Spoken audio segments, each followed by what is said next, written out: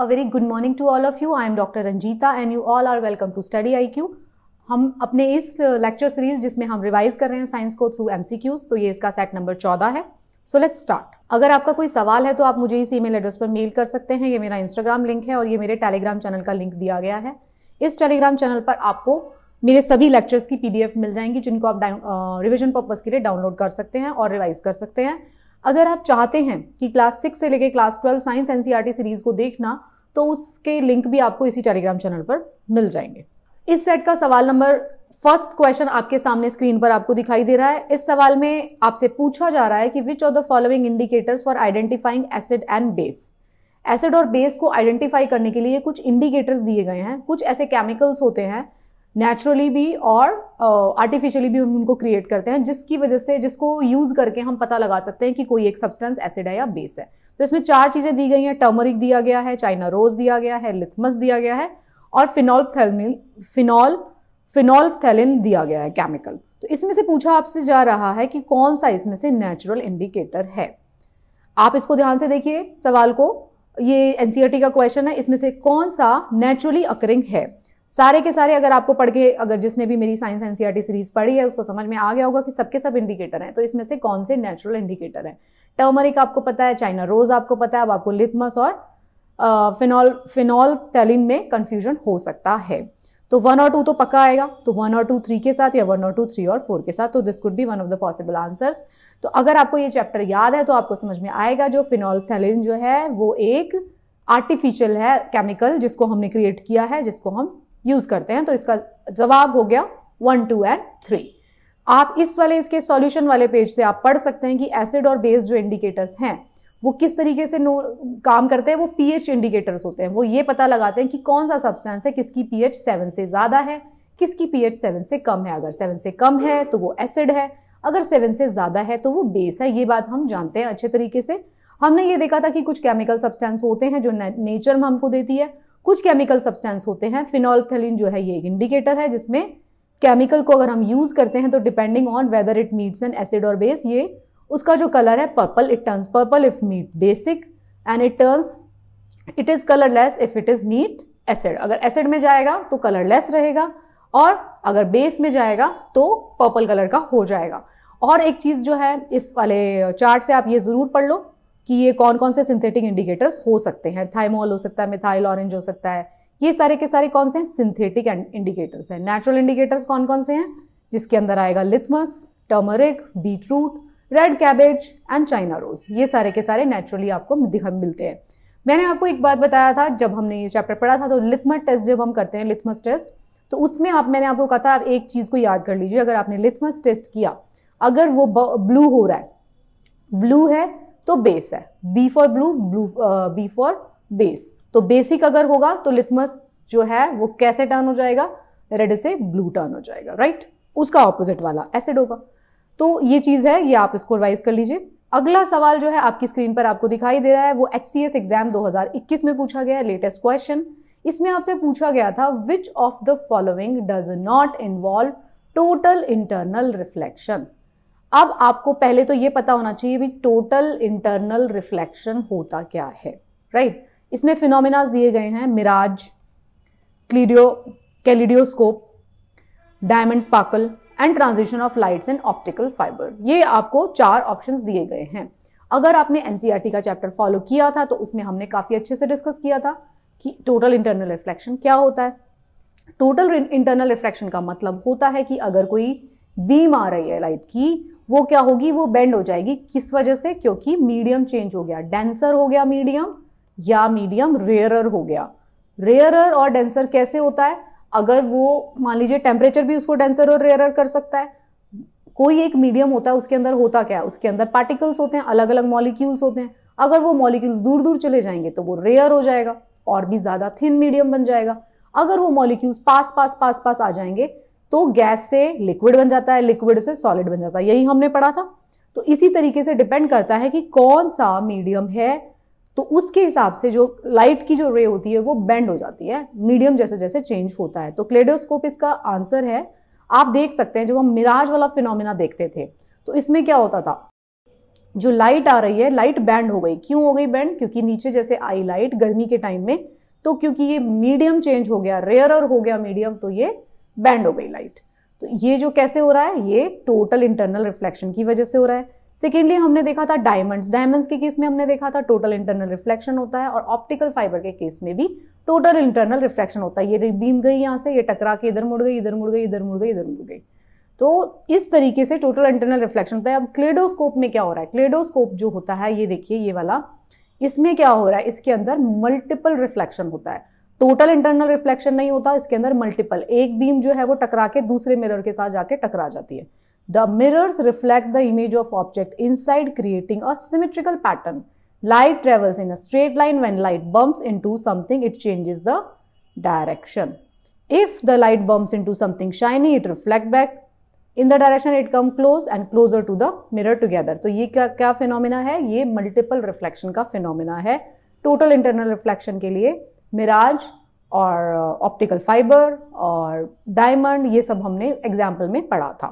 तो इसके अंदर आप पूरा देख सकते हैं जैसे जैसे जो मिराज कब होता है, जब डे डे टाइम में होता है, जब temperature of the earth surface increase हो जाता है हॉट डे में, इसकी वजह से क्या होता है सराउंडिंग एयर जो है but the air present in the atmosphere will be cooler ऊपर जो होगी कूल होगी, नीचे जो होगी, गर्म होगी, इसकी वजह से टोटल इंटरनल रिफ्लेक्शन हो जाएगा।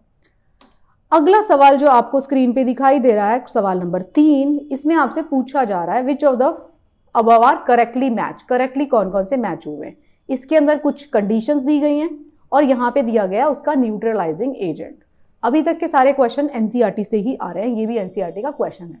अगर आपको इनडाइजेशन हो जाता है तो न्यूट्रलाइजिंग एजेंट कौन है? मिल्क ऑफ़ मैग्नेशिया दिया हुआ है। एंट बाइट चीटी काटती है तो कौन है न्यूट्रलाइज करने के लिए आपको क्या करना है? बेकिंग सोडा दिया हुआ है। एसिडिक सॉइल है, उसको आपको ठीक करना है तो क्विक लाइम आप डालते हैं। ये तीनों चीज़ें इसके अंदर दी गई हैं। आपसे पूछा गया है करेक्टली मैच कौन सा है? तो एनसीईआरटी का सवाल सीधा एनसीईआरटी में हमने पढ़ा था एग्जाम्पल्स में। अगर एसिडिक सॉइल होगी तो हम उसमें क्विक लाइम ऐड करेंगे। अगर चीटी काटती है तो हम बेकिंग सोडा का यूज़ करेंगे। इनडाइजेशन होता है तो milk of magnesia milk of magnesia इसका कॉमन नाम है। मिल्क ऑफ़ मैग्नीशिया में क्या होता है? मिल्क ऑफ़ मैग्नीशिया होता है विच कंटेन्स मैग्नीशियम हाइड्रोक्साइड जो आपकी डाइजीन वाली जो दवाई आती है, जिसको आप खाते हैं, पीते हैं सॉरी जब आपको इनडाइजेशन हो जाता है, उसके अंदर मिल्क ऑफ़ मैग्नीशिया होता है मैग्नीशियम हाइड्रोक्साइड तो इसको हम कब यूज़ करते हैं? इसको हम स्टमक के अंदर, अगर हाइड्रोक्लोरिक एसिड जो है वो ज़्यादा बढ़ गया है, जो डाइजेस्ट करता है बट टू मच जो होगा, वो हमारे लिए नुकसान करेगा. तो हम क्या करेंगे? मिल्क ऑफ़ मैग्नीशिया डालेंगे विच इज़ अ बेस तो बेस जो है एसिड को जाके न्यूट्रलाइज करेगा. सिमिलरली अगर चीटी ने काटा तो कौन सा एसिड रिलीज़ कर रही है? फॉर्मिक एसिड अब वो फॉर्मिक एसिड है, उसको न्यूट्रलाइज करने के लिए हम क्या करेंगे? मॉइस्ट बेकिंग सोडा मतलब सोडियम हाइड्रोजन कार्बोनेट जिसको हम खाने वाला, वो जिसको हम बेकिंग सोडा जिसको हम बेक कर रहे हैं, उसका हम यूज़ करेंगे। या फिर हम कैलामाइन सॉल्यूशन का भी यूज़ कर सकते हैं। सिमिलरली सॉइल अगर हमारी मिट्टी खराब हो गई है तो हम उसके अंदर क्या डालेंगे? क्विक लाइम कैल्शियम ऑक्साइड ये हम बहुत कॉमनली यूज़ करते हैं, जो कि थोड़ा भी एग्रीकल्चरल बैकग्राउंड से बिलोंग करते हैं, उनको पता होगा। तो ये एसिड और बेस के न्यूट्रलाइजिंग रिएक्शंस है। तो ये ये सवाल भी एनसीईआरटी से था। अगला सवाल जो आपकी स्क्रीन पर है, वो पूछा गया है सीएपीएफ के असिस्टेंट कमांडेंट एग्ज़ाम में पूछा गया 2021 में। कौन सी जो प्रॉपर्टी है which of the following properties decreases across the periodic table NCERT का क्वेश्चन है। जब मैंने आपको एनसीईआरटी पढ़ाई थी तो मैंने आपको एक चार्ट बना के दिया था। एनसीईआरटी का ही चार्ट था, वो मैंने आपको दिखाया था और समझाया था। तो जो पीरियोडिक टेबल है, जब हम लेफ़्ट से राइट right जाते हैं तो क्या करेक्टर इंक्रीज होता है? और टॉप से बॉटम जाते हैं तो क्या करेक्टर इंक्रीज होता है? इसमें चार करेक्टर्स दिए गए हैं ionizing energy electron affinity electronegativity और एटॉमिक रेडियस अब ये सवाल कौन सॉल्व करेगा? ये सवाल सिर्फ़ और सिर्फ़ वो इंसान सॉल्व करेगा, जिसने एक्चुअली केमिस्ट्री का एनसीईआरटी पढ़ा है, जिसको ये बात पता है। मैंने आपको ये बताया था इसका आंसर एटॉमिक रेडियस है। तो मैंने आपको ये बताया था, यही वाला टेबल जो है, ये एनसीईआरटी का टेबल है। इसमें आपने देखा था, देखिए जो पीरियोडिक टेबल है, जब हम डाउन जा रहे हैं किसी ग्रुप में तो क्या होगा? एटॉमिक रेडियस इंक्रीज होगी क्योंकि इनका नंबर बढ़ता जा रहा है। ये तो साफ़ सी बात है एटॉमिक रेडियस ऐसे डिक्रीज हो रही है इंक्रीज हो रही है। पहले छोटा था हाइड्रोजन जिसके अंदर एक ही शेल थी। जो लिथियम आएगा, उसके अंदर दो शेल्स आ जाएँगी, फिर तीन शेल्स आएँगी, फिर चार शेल्स आएँगी। तो इसलिए एटॉमिक रेडियस इंक्रीज हो रही है। ये बात आप समझ सकते हैं। जैसे ही हम डाउन द ग्रुप जा रहे हैं, एक बात। दूसरी बात, अगर हम लेफ़्ट से राइट की तरफ़ मूव करते हैं तो क्या हो रहा है? एटॉमिक रेडियस इधर इंक्रीज हो रही है तो इधर डिक्रीज हो रही है। लेफ़्ट से राइट की तरफ़ जा रहे हैं तो एटॉमिक रेडियस डिक्रीज हो रही है। ऐसा क्यों हो रहा है? क्योंकि जो number of electrons outermost shell में प्रेजेंट होते हैं, मान लीजिए अगर आउटर मोस्ट शेल में एक इलेक्ट्रॉन प्रेजेंट है तो क्या होगा? वो tend to lose that electron वो उसको बोलेगा छोड़ दो। लेकिन अगर सात इलेक्ट्रॉन्स प्रेजेंट हैं तो वो क्या करेगा? वो जो एटम है, वो चाहेगा कि उसको एक और इलेक्ट्रॉन मिल जाए राइट यही हमने बेसिक सा कंसेप्ट पढ़ा था। तो इधर से इधर जाते हैं तो एटॉमिक रेडियस जो है डिक्रीज होगी। तो यही सवाल में पूछा गया था but again I will say ये सवाल सिर्फ़ वही लोग सॉल्व कर पाएँगे जिन्होंने इस चैप्टर को सच में पढ़ा है। रटने से ये चैप्टर ये सवाल सॉल्व नहीं होगा राइट इस वाले में आप पूरा पढ़ सकते हैं कि एटॉमिक रेडियस क्या है आयनाइजेशन आयनाइजेशन एंथैल्पी या एनर्जी क्या होती है इलेक्ट्रॉन गेन क्या है। ये मैंने अपने खुद क्लास इलेवन में भी पढ़ाया और आपको छोटी क्लास में भी पढ़ाया था केमिस्ट्री में। अगला सवाल है जो आपकी स्क्रीन पर वो है which of the following is not a chemical change chemical change कौन सा नहीं है ये पूछा जा रहा है। तो दो तरीके के चेंजेस होते हैं नेचर में अगर हम बात करेंगे कौन कौन से? फ़िज़िकल चेंज होता है और केमिकल चेंज होता है। ये एनसीईआरटी का क्वेश्चन है, बहुत ही इंपॉर्टेंट क्वेश्चन टॉपिक इसमें से सवाल बनते हैं, आसान सवाल। केमिकल चेंज के बारे में हम जानते थे, वो चेंज है जो कि रिवर्स नहीं हो पाएगा। अब आप देखिए फर्मेंटेशन ऑफ़ ग्रेप क्या ये केमिकल चेंज है? क्या आप एक बार फर्मेंट हुए ग्रेप्स को, जिसको आपने सड़ा दिया फर्मेंट कर दिया, वापस रिवर्स ग्रेप्स में कन्वर्ट कर सकते हो? नहीं कर सकते केमिकल चेंज है। एक्सप्लोजन ऑफ़ फायर आपने पटाखे थे वो जला दिए, क्या आप उसको वापस पटाखा बना सकते हो? नहीं। Crystallisation and digestion. डाइजेशन जो आपका फ़ूड था वो जो आपने खाया, उसका कुछ और बन गया, डाइजेस्ट होके क्या आप उसको वापस फ़ूड में बना सकते हो? नहीं। क्रिस्टलाइजेशन क्या होता है? आपने चीनी में, पानी में चीनी घोली थी गरम गरम कर करके उसको चीनी को आपने चाशनी बना के और गाढ़ा करोगे तो शुगर बन जाएगी दोबारा से। सिमिलरली शुगर बन गई, फिर उसमें पानी डालोगे, फिर से क्रिस्टल चाशनी बन जाएगी। तो क्रिस्टलाइजेशन जो है, वो क्या है? Crystallization is a physical change, but बाकी सब केमिकल चेंज है, आसान सवाल था एनसीआरटी से। इसमें आप पूरा एक्सप्लेनेशन पढ़ सकते हैं फ़िज़िकल चेंज और केमिकल चेंज में क्या क्या फ़र्क है। ये एक बहुत आसान टॉपिक है और ये फेवरेट टॉपिक भी है एग्जामिनर्स का, पूछे जाते हैं इससे सवाल। तो क्रिस्टलाइजेशन कैसे की जाती है, ये आपको पता है। एनसीईआरटी में हमने पढ़ा था। सवाल नंबर छह जो आपको स्क्रीन पर दिखाई दे रहा है, वो है, कौन सा जो सब्सटेंस है which of the following substance do silver article react with silver article कौन से सब्सटेंस से रिएक्ट करता है? That makes silver article black ये इसमें पूछा गया था कि आपने देखा कि जब आप कोई चांदी की चीज़ को बाहर रख देते हैं तो कभी कभी क्या होती है, वो काली पड़ जाती है। हमेशा नहीं पड़ती कभी कभी पड़ती है। आप देखना।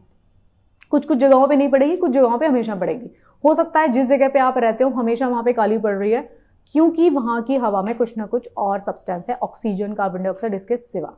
तो ये यूपीएससी के सीडीएस एग्ज़ाम में पूछा गया 2021 में।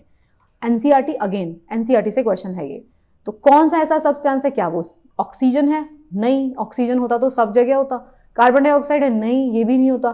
तो दो में से हो सकता है सल्फ़र हो सकता है या तो फॉस्फोरस हो सकता है। अब आपको ये देखना है कि सल्फ़र और फॉस्फोरस में से कौन सा है। तो अब जिस किसी ने एनसीआरटी पढ़ी होगी, उसको पता है कि ये सल्फ़र है।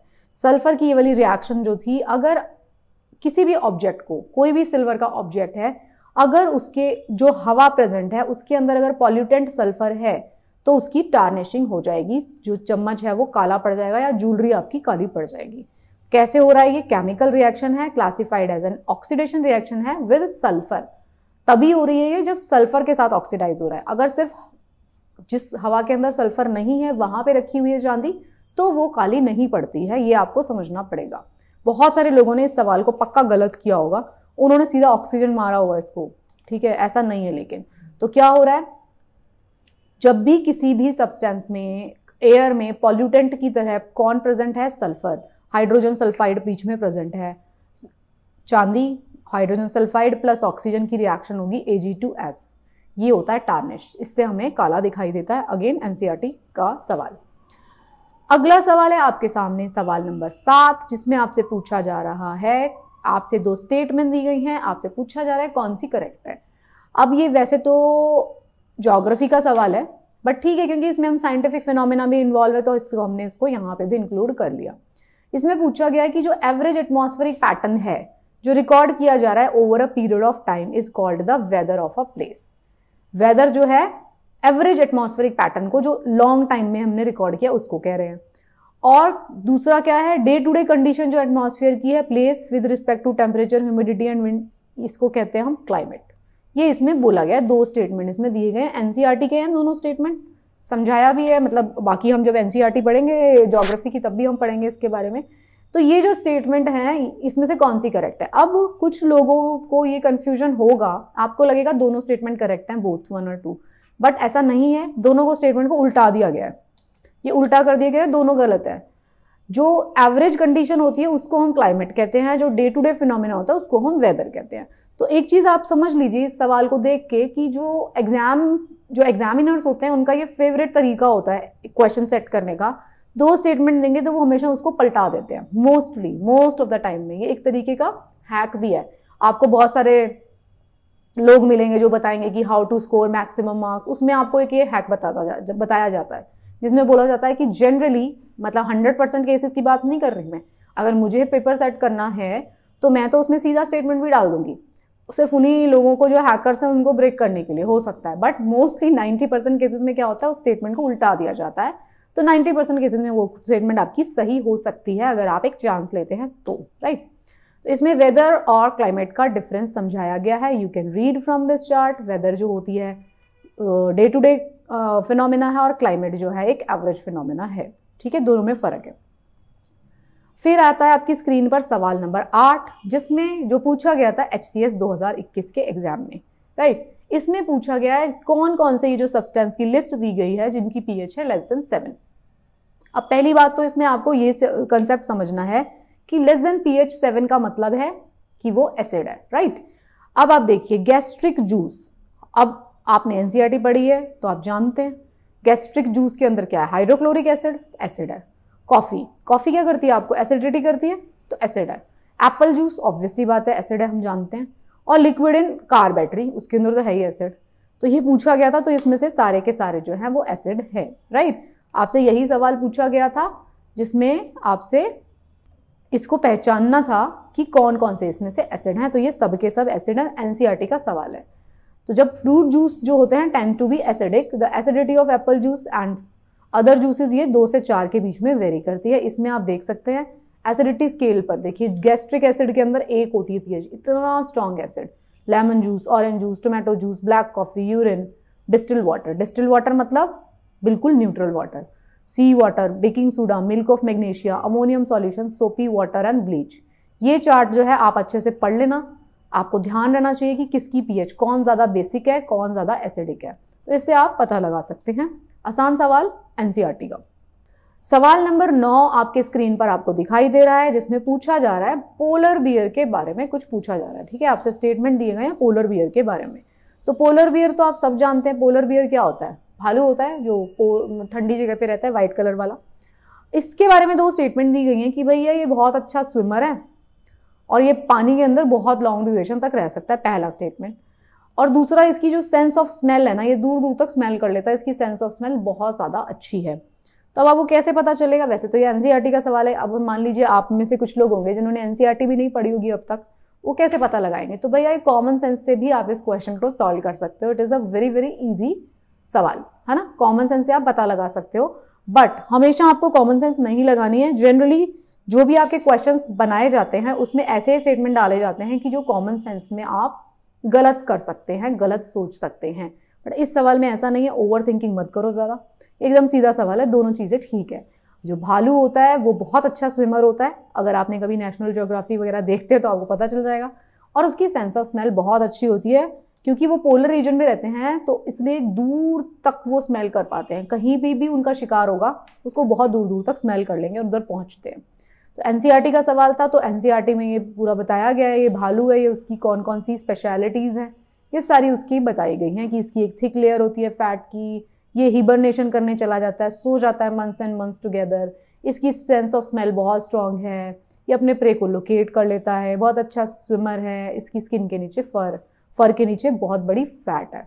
तो ये सारी की सारी चीज़ें जो है हमने एनसीईआरटी वाले चैप्टर में पढ़ी थी। इस सेट का आखिरी सवाल आपके सामने है, जो असिस्टेंट कमांडेंट 2021 एग्ज़ाम में पूछा गया आपसे। इसमें पूछा जा रहा है the speed of wind is measured by कौन सा इंस्ट्रूमेंट है जो स्पीड को मेजर करता है, हवा की गति को? तो ये भी हमने एनसीईआरटी से पूछा था सवाल। एनसीईआरटी में पढ़ा था मतलब तो एनसीईआरटी का क्वेश्चन है सीधा सीधा तो इसमें पूछा जा रहा है विंड रोज पता नहीं कैसे ओके बैरोमीटर तो बैरोमीटर तो आप पता लगा लोगे कि भाई बैरोमीटर तो नहीं हो सकता प्रेशर मेजर कर रहे हैं। विंड रोज क्या है ये? विंड वेन हो सकती है कंफ्यूज करने के लिए। तो अगर आपने एनसीईआरटी सीरीज़ देखी है तो आप उसके बारे में जानते हैं। इसका जवाब जो है एनीमोमीटर है राइट एनीमोमीटर क्या होता है? ये देखिए, ये होता है ये इंस्ट्रूमेंट एनीमोमीटर ये कैसा है? कैसा इंस्ट्रूमेंट है ये? जैसे ही हवा चलने लगी, देखो दोनों चीज़ें बता देता है। डायरेक्शन भी पॉइंट कर देता है, हवा इधर से चल रही है, इधर से इधर। स्पीड भी बताएगा। देखो डायरेक्शन के लिए ये वाला लगा हुआ है एरो वो बता देगा किस तरफ़ से हवा आ रही है। जिस तरफ़ से हवा चलेगी वो उसको दे देगा। जो एनिमोमीटर है, उसके अंदर ऐसे गोल गोल बनाते हैं। इसलिए बनाते हैं गोल गोल जिस भी डायरेक्शन से जितनी तेज़ी से हवा चलेगी, घूमना शुरू कर देगा। जितनी तेज़ी से ये घूमेगा, यहाँ पे देखो ये एक मीटर लगा हुआ है। इस मीटर के अंदर रिकॉर्ड हो जाएगा कितनी तेज़ी से हवा चल रही है। तो ये क्या कर रहा है? ये स्पीड को मेजर कर रहा है। इसको हमने एनसीईआरटी e में पढ़ा था, हम इसके बारे में जानते हैं। तो ये जो थे आपके सवाल थे, ये सेट नंबर 14 था, इसमें हमने कुछ सवालों को सॉल्व किया। आई होप आपको सवाल सॉल्व करके बहुत मज़ा आया होगा और आपकी ढेर सारी लर्निंग हुई होगी so thank you so much पढ़ते रहिए and best of luck for your preparation